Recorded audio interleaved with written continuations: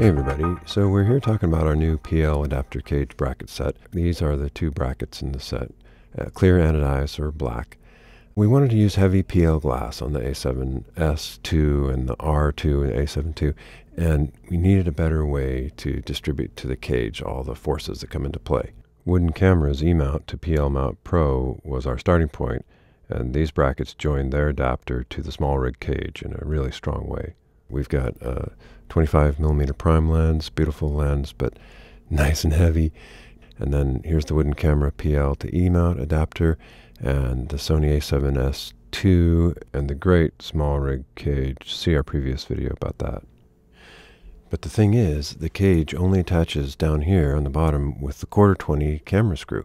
So it's actually free and there's clearance all the way around the other three sides. So the cage will flex if all the weight were to be transferred just through the camera screw. You can see here with the top screws removed how much it would flex. By tying the bottom and the top of the cage to the adapter, it becomes a rock solid rig. Alright, step one in the assembly is the top bracket onto the adapter. The white dot is the left side of the adapter, so this is the top where the top bracket goes.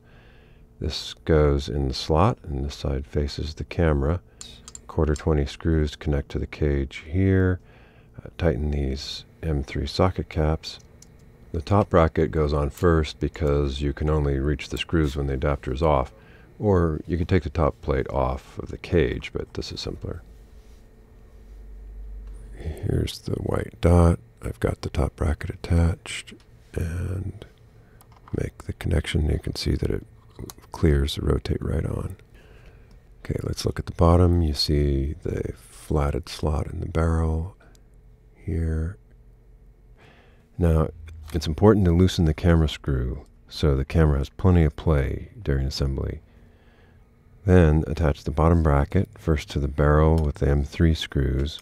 Make sure it's aligned square to the barrel. I like to pull it up so that it's touching the edge of the slot. Keep everything nice and loose so you can get these last two screws in and then when everything is aligned, then go ahead and tighten down the two screws to the bottom of the cage.